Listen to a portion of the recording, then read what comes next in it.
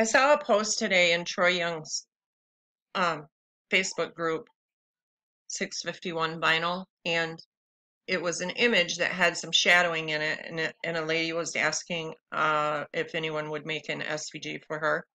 And the lovely Lee Butler Whitaker did so. And then someone else had asked how she did it, and she explained it. So I thought I would make a video on that same image so that you can see how it's done. Um, some people are more visual. Um, but I do want to say that this does not work with every image that has shadows. Okay, so here is the image. Um, some of you might recognize it if you're in the same group. And what I did was I selected it and went to path, trace bitmap. I did the same things that Lee did, um, except she said I believe she lowered her threshold to 29. But when I do 29, I have a lot of stuff here in the belt and I don't want that there. So I'm going to go down to 26 and I still have a pretty good image, I think. So let's click OK and let's check it out. Make sure that all of our paths are closed, which this is not right here, but um, you can just grab your Bezier pen. Let me close this out. And left click on this line and double click on that line to make it um, connected and then go to your edit paths by nodes tool and you can give it a little curve if it needs it. Um, go to fill and stroke your stroke style and change the width because that's a little bit too thick. I'll try 1.5 and I think that looks pretty good. I'm not so sure it really needed that curve. So now what I'm going to do is go to path stroke to path and then I'm going to with it selected I'm going to hold my shift key and select the rest of the image and do a path union. And then you can go back into the node editor and you can delete whatever nodes that you need um, to make it look correct. Okay, so um, here's one more. I don't think there's too many of them. Uh, you could try 27 or 28 when you uh, trace, but I think this will work just as well. Do one point, uh, maybe I'll do a one stroke. and this doesn't take too long. I mean, if it's an image that you really need and you can't find anyone to make it for you, then, um, you know, it's worth the time. So now you go back to path, stroke to path, with it selected, with your selection arrow, hold the shift key, select the image, and go to Path Union. And then you can go back in and you can delete whatever nodes don't need to be there. Um, hold Control and click on the little um, handles. And I believe I can get rid of this one here. Okay. So now those are closed paths and you can fill them with color. If they're open like that and you try to fill them with color, they're not going to fill. Now, another thing I notice are these little tiny dots. And I also see them here, but they are not going to cut well. Um, if you want to leave them, you can leave them, but I'll show you how to get rid of them as well. Just go back to your node editing tool left click and drag a box around it, it will highlight them and hit delete on the keyboard, okay? Sorry I'm zooming in and out. I hope you're not getting dizzy, but um, I wanted to show you that they were highlighted. And then you can go back to your selection tools, see if there's any more. There's one over here in the hand. And you can get rid of um, whichever ones you want. Now this is open here and we want that closed. So we're going to just draw a box around them and you'll know that your box is around them when you let go of your um, mouse button because they're highlighted. And then just hit delete and that closes that up. And the reason that I went, now did you see that? I was on the nodes and I was scrolling and it selected them. So make sure you don't do that. Now the only thing I have to get rid of in the belt is that right there. Okay. Um, but if I show you, if I select this again and I go to Path Trace Bitmap and I do a 29, and I bring this over, look at all that that has to be deleted in the belt. And all I did was just a couple of little nodes. Um, you know, every computer is different, so that's fine. All right, so once you get rid of all of your little tiny um, specks that you don't want to cut, which there's a few more down here, but I'm going to just go ahead and leave them. Um, what you can do now is um, fill this with color.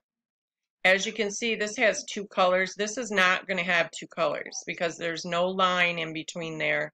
Um, and also remember that you have to fill your white, otherwise it's going to be transparent. So what I like to do is make sure everything is deselected. You can select your selection tool and hit this button right here and it deselects everything. And then I'm going to hit the letter D on the keyboard for to get my dropper. And I'm going to click on this yellow color. And then I'm going to hit U to bring up the paint bucket. And I'm going to fill everything with that yellow. I'm going to fill one time and hold my shift key and then go around and fill all the other yellow parts that need to be filled. Let me get the entire image in here. And I guess I probably could have went with the darker one, but I didn't. Okay, so now I'm going to go back to my selection tool, and as you can see, all the yellow is now one layer. Control Z to go back. Um, now I'm going to deselect everything again, hit the letter D, and choose a blue. I'll choose the light one since I choose the light yellow hit U on the keyboard to bring up my paint bucket and start filling the blue parts.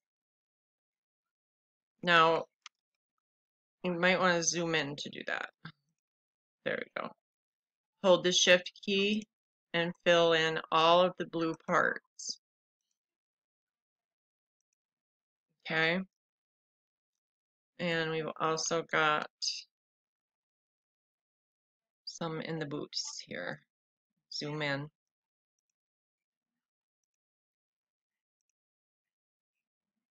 Uh, control plate. Now I'm not sure, now this one isn't closed, so I'm going to have to go back and close it with my pen, doing it the same way that I did it before.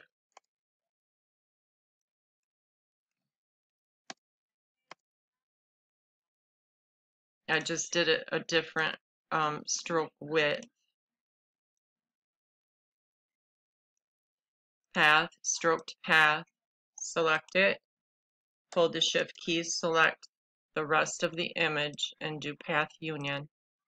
And now I can fill that with the color blue. So I'm going to make sure everything is deselected. I'm going to click the letter D for the dropper, choose the blue again, the letter U for the paint bucket, and just fill that. Now, I'm going to have to go back because I had to fix that opening and that, here's another blue. So now these are not all on one layer, okay? So what I need to do now is let's make sure I have all the blue. I think actually this is blue in here too. There we go. Uh, I think I have it all. And don't worry about those openings. I'm going to show you how to fix that in a moment. Um, these openings here I'm talking about. Okay, so now I have to um, get all this blue on one layer because as you can see, it's not on one layer. So I've got these four pieces that need to be connected to this. So what I can do is select those four pieces and then hold the shift key and select the rest of them and do path union. Now all the blue is on one layer. And I'll do Control Z to put that back. All right, so now um, we're going to deselect everything again. Hit the letter D for the dropper, and we'll choose this color and we'll go to the paint bucket and we'll fill that. Hold the shift key and fill that. And then the gray, we're going to go back to the selection tool and deselect everything. Hit the letter D, choose the color gray, hit the letter U for the paint bucket, and then we're going to zoom in here because we got a lot of tiny spaces. And it fills better the closer you are to it anyway. So still holding the shift key, continue to fill. Yep, I knew I hit the black. So control Z, hold the shift key, and fill all these in. Now I do let go of my shift key to zoom around, but I press it again before I start to fill. Okay, and there's a little bit of gray right here. Okay, I think I've got all of that. Now if I go to my selection tool, as you can see where I let go, um, and I, I was zooming, it did not get everything. So what I can do now is just draw a box around this because I know this is all connected and hold the shift key and select that. They're all selected now and go to path union. And then all the gray again is on one layer.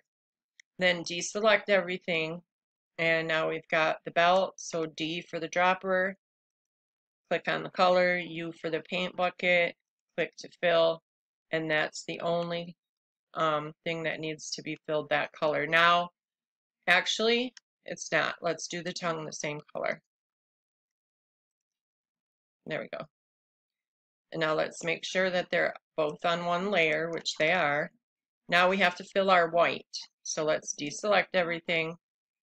Hit U for the paint bucket. Let's choose the color white down here. And see, are those? Nope, those by his nose are blue. So I missed those, but that's okay. We can go back. So I'll left click, hold the shift key, left click, to fill his teeth and his eyes. Okay, and then check that. It should all be on one layer, which it is. Now these need to be the blue, so let's deselect everything and let's uh, go D for the dropper, select the blue again, U for the paint bucket, and let's fill this, hold the shift key, fill this. And actually this little eyebrow is blue, but I don't know how that's going to cut, but I'm going to just go ahead since it's here and fill it. Now if I select everything, that is blue, but I need to connect it to the other blue. So I'm going to hold shift key and click on this blue and do path union. Now every color should be done. Okay.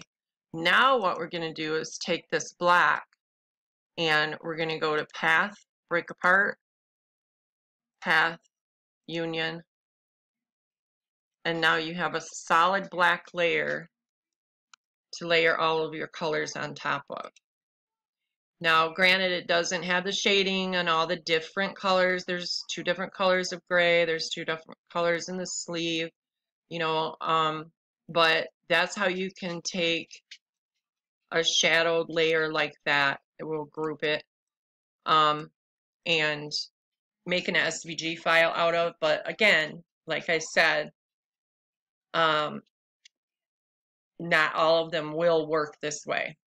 So I hope this helps you. Sorry it was so long, but there was quite a bit to go through. Um, thanks for watching, and I'll see you in my next video.